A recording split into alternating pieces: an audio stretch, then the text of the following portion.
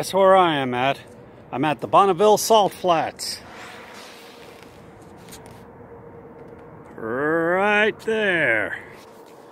Yep, all this is the Salt Flats.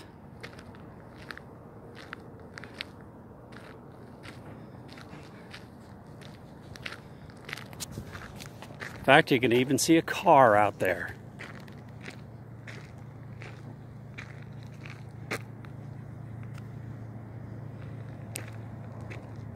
What do you think? You think I should take a truck that weighs 65,000 pounds out there?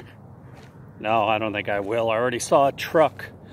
Looked like he went off the road and he got stuck in, uh, it wasn't really dry like this is. It was more marshland, uh, marshy. They, they were trying to hell of a time trying to get him pulled out of there with his load, his trailer and all that. But yeah, it's gorgeous out here. It is gorgeous. This is the third time I've been here. I was here at one at uh, night one time like a week ago. You see the stars. It was gorgeous. You see the Milky Way. But yeah, this place is gorgeous.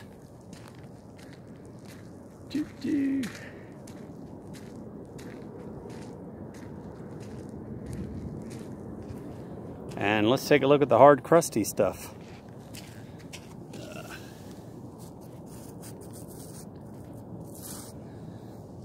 yeah, you can't really move it at all. Uh, Yep, nothing's coming up. It is fantastic out here.